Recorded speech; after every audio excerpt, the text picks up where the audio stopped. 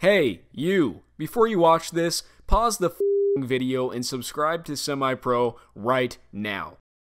The Rams are two years removed from a Super Bowl appearance, but they have lost a few key players and have started to slide. But don't sleep on Los Angeles. They're still a good team with the bones of a competing roster.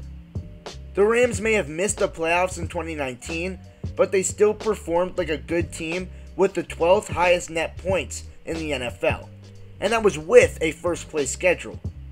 You might look at this Los Angeles team and think they lost some key pieces over the offseason, like Todd Gurley, Clay Matthews, and Brandin Cooks. But don't fret, those three players are all bigger names than what they produce on the football field.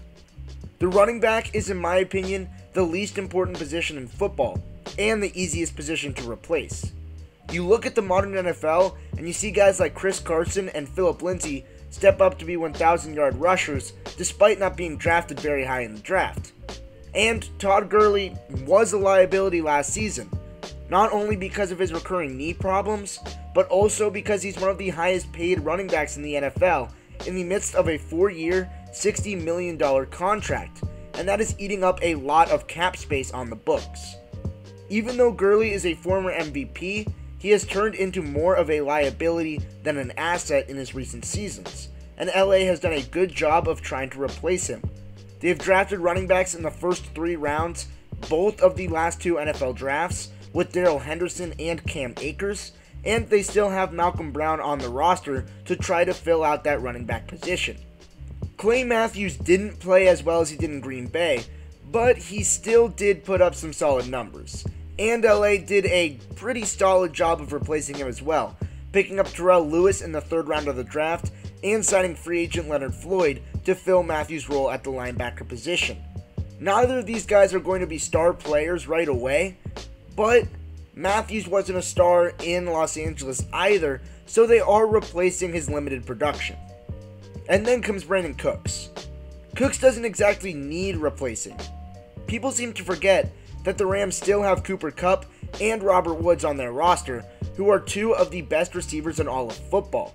And that goes along with Josh Reynolds, who is a capable third receiver, Gerald Everett, who is a solid tight end, and Tyler Higbee, who finished the season on an astronomical stretch. But the Rams still did address receiver during the draft, taking Van Jefferson in the second round to replace Cooks. The rest of the offense is rounded out by quarterback Jared Goff, Granted, Goff does have his limitations, and he isn't the most talented quarterback in the league by any margin. But he is married to Sean McVay, who is the perfect fit for him and can mold the entire offense around his strengths and try to mitigate Goff's weaknesses. The biggest question mark is the offensive line.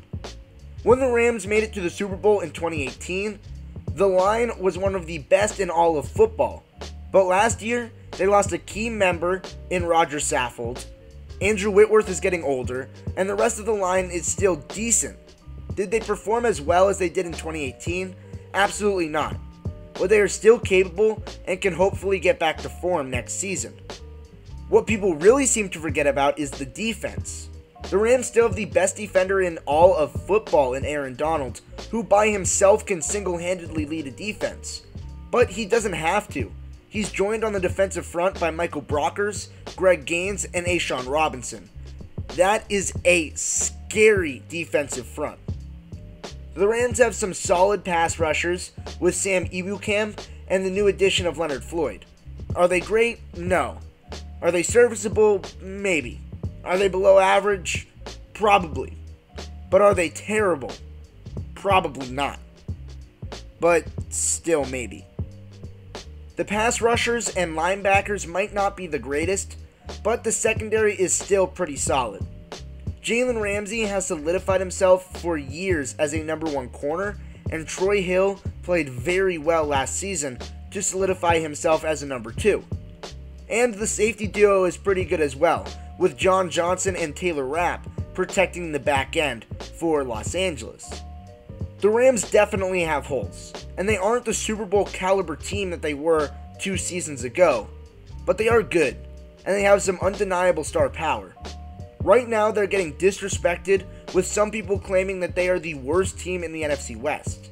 But they have proven over the last two seasons that they are a solid team and they have the pieces to be one yet again. And with an extra playoff spot up for grabs, the Rams could be in the postseason.